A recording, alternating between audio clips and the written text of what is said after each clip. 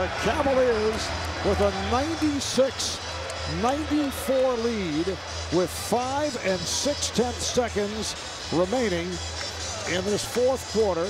Utah ball. They've just taken their last timeout. And the rookie, Sundiata Gaines, remains on the floor. Deron Williams out with a bruised wrist. Andre Kirilenko also back in the locker room with a uh, knee injury.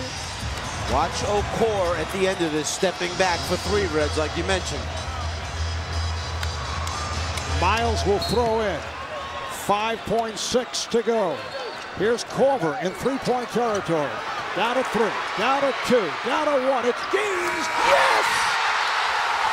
The Jazz on a game-winning shot by the rookie Sundiata Gaines has defeated the Cavaliers at the buzzer.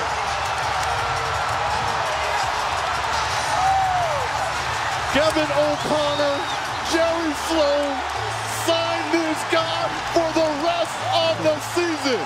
He has proven his worth.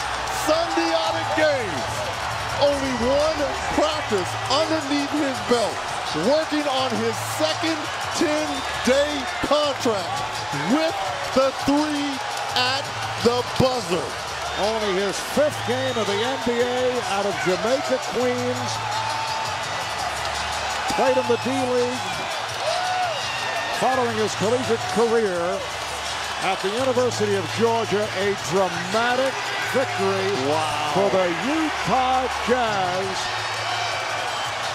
You, you can't tell me Jerry Sloan drew this up for Gaines.